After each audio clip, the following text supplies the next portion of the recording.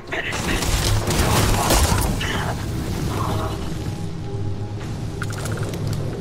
Anyway, as I was saying, the artifacts aren't exactly what you'd call normal.